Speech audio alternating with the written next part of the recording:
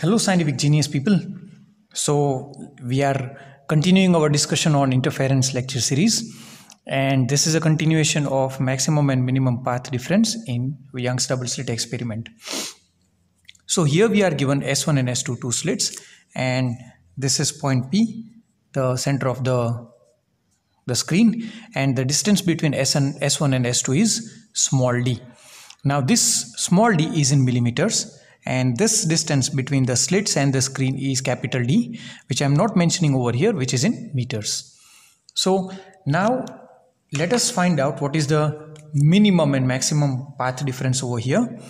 So what is going to happen suppose if the waves light waves from S1 meet at point P with the waves coming from S2. So the waves would be traveling like this and finally they would meet at point B by traveling distance r1 and r2. So we know that these two distances traveled by the waves coming out from S1 and S2 are same. So since r1 and r2 are same, so path difference is r2 minus r1 which is 0 which is the minimum path difference available for the waves. So at this point since the path difference is 0, it is a bright fringe and this is called central bright fringe. Now imagine a situation where this P point is shifted somewhere over here. So waves from S1 and S2 will travel distance R1 and R2 wherein these two R1 and R2 distances are not same. So now the R2 is larger than R1. So what I need to do is I need to make a perpendicular line from here and then this would be the path difference at point P if I shift point P over here. So if I take this point P further you would see that these two waves which are meeting at point P on the screen say this is point P or this on the screen as we shift the point higher and higher on the screen you will see that the path difference. This is r1 this is r2 so this is one point this is another point like this. You can see that this path difference has increased. Earlier this was the path difference. Now this is the path difference. So the path difference keeps on increasing as the point p is shifted uh, higher and higher on the screen. Now in this way if you keep on going till infinity so infinity is a point on the screen and we cannot reach infinity but I can make you generalize like this that suppose the waves from S1 move like this in this way and from S2 also the waves they move like this and they again go in the same direction and suppose P is the point at a very far away from here on the same line where they are meeting.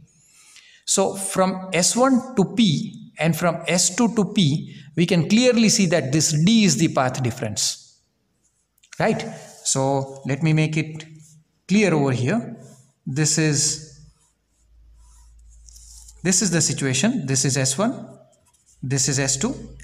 So the waves coming from S1 they travel like this going straight and to point P which is at infinity. So that distance would be from S1 to P would be a very large distance that would be R1 and again from S2 like this to point P that would be again a long distance that is R2. So we can clearly see that S2P minus S1P is this distance which is the maximum path difference.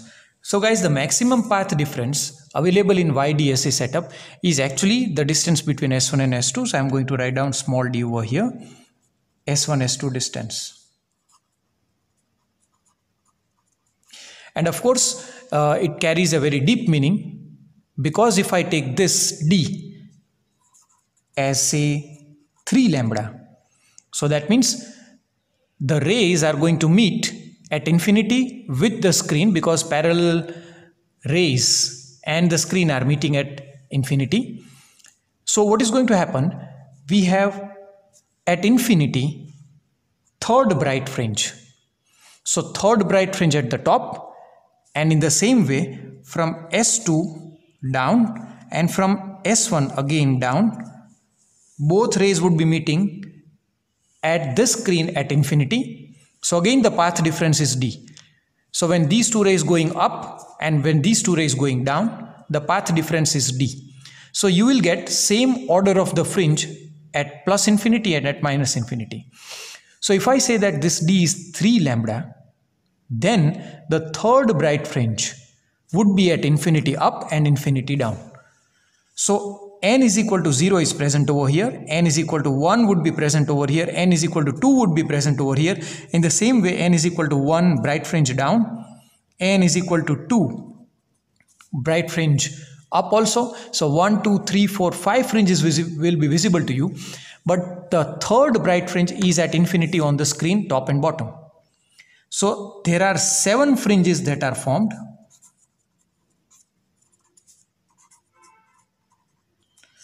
but we can only see five fringes due to the matter of the fact that the third bright fringe whose path difference is 3 lambda is formed at infinity up and infinity down. So let's try to uh, solve a problem on the basis of this one. So here you are given a circle and this this circle itself is actually a screen s1 s2 are two coherent sources and suppose D is given as 3 lambda. So this distance between S1 and S2 is how much? 3 lambda. Now I would like to tell you these two points would be the points on the screen where the path difference would be 0. So over here n is equal to 0 and n is equal to 0 fringes. Central bright fringes will be formed. And why is that? Because you can see by yourself that if I join S1 and S2 over here or over here. The path differences are same. Sorry the paths are same. So the path difference would be 0 correct? Now let us take this point. So waves from S1 would travel and meet with the waves traveling from S1 so waves from S2 when they reach over here and when the waves from S1 they reach over here the path difference is clearly seen it is D which is 3 lambda. So at this point the path difference would be 3 lambda. So here the third bright fringe would be formed. In the same way S1 to this point and S2 to this point this is the path difference. So again n is equal to third order fringe will be formed. So it is very true that n is equal to 1 would be formed over here n is equal to 2 would be formed over here again n is equal to 1 would be formed over here n is equal to 2 would be formed over here. Again n1 and n is equal to 2 because intermediate between n is equal to 0 and n is equal to 3 there would be other two fringes bright fringes as well. In the same way n is equal to 1 n is equal to 2 so if you look carefully guys how many um, total fringes are formed? Starting from here 1 2 3 4 5 6 7 8 9 10 11 12 so total number of fringes formed.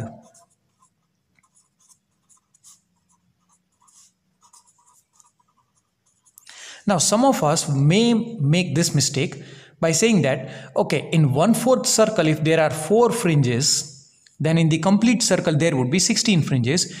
But we fail to understand one thing that from this part n is equal to 0 and from this part n is equal to 0 are coinciding so it has to be counted as one fringe only. In the same way, third fringe of this part and the third fringe of this part are again coinciding. So we would be taking this as a single fringe. So in that way, four fringes which are common would be eradicated. So hopefully guys, you have understood my uh, lecture on uh, maximum and minimum path difference. So if you have enjoyed the explanation, please do subscribe to my channel. And if you have any doubts, please do comments, uh, please do comment in the comment section. Thank you for watching the video.